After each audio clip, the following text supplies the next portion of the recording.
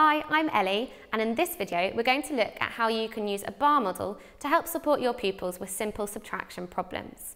So let's look at the example that we have here. Hannah bakes 145 cakes. She sells 98 at the school fair and how many cupcakes does she have left? So in this problem, what we're going to do is make use of the bar model to help pupils understand the process they need to go through to find their answer.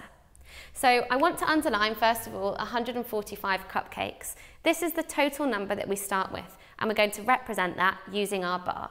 So let's put an H for Hannah, and then we're going to draw a whole bar to represent that 145. You then want to ask the pupils, how many has she sold? And they should be able to spot from the question, it was 98. So we want to mark this on the bar. So I'm going to put um, roughly here we're going to say that Hannah sold 98.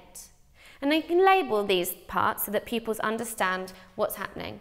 So this is a whole 145 that she had to begin with, and this is the 98 that was sold. The question asked, how many does she have left? And the good thing about a bar model with this kind of example is that it's really making it very clear to the pupils that they need to find this part. And that the idea of it really is to help reinforce that they're doing subtraction.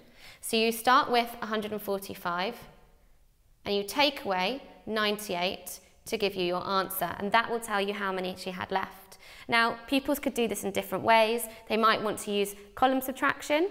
I'd recommend just doing a really quick mental method. Take away 100 to give you 45 and add on the other two to give you 47. So that your answer here is 47 cupcakes left. And that's how you can use the bar model to solve simple subtraction problems.